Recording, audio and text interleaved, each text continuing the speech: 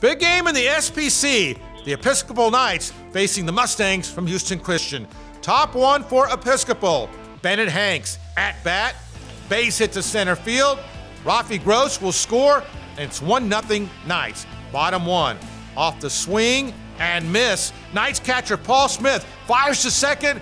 Nice tag by Trey Organ, and he's out to end the threat.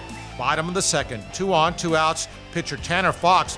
Big strikeout to end the inning. Top three. Knights at bat now. Marco Gutierrez. Fly ball long to left. Braden Beyer back back. And Braden, nice catch for the out. Then Mustangs pitcher Brandon Shell with the strikeout on the breaking ball. Bottom three now. Mustangs. Zachariah Munton rips it to right field. Shell will score. Zachariah is in with a triple, and the game is tied at one. Top four now.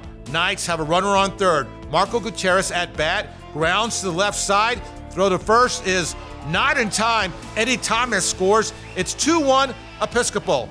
Still top four. Two on, two outs. Pitcher Matt Zatopek gets the strikeout. Score remains 2 1 Episcopal. Bottom four now. Mustangs have a runner on third. Reliever Gunnar Brown, he gets the strikeout. Very nice. Bottom seven, two outs. Last chance for Houston Christian.